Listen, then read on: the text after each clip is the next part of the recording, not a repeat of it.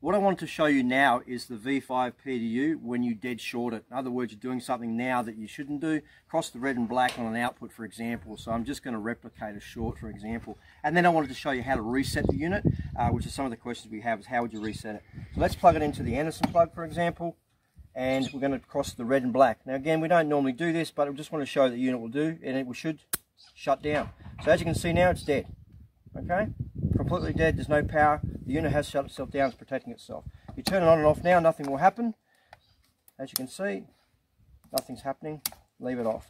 What you do to reset it is you simply need to put a power source into the unit. So what you need to do is put a power source into the, obviously the input. You can do that by a solar panel or by say the car for example, or the DC-DC unit. The simplest way I can demonstrate this is by using the AC-DC charger like so.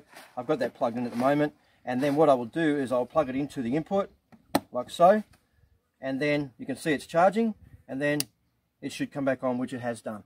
So again, you don't need to go into the unit and pull fuses and things out or do anything like that. This unit will simply protect itself. Take the load off, take the load off, turn the unit off, leave it for 30 seconds, for example, put a power source in there and she's ready to go. Now you'll find that it should be able to kick in and off now. No problem, back to normal.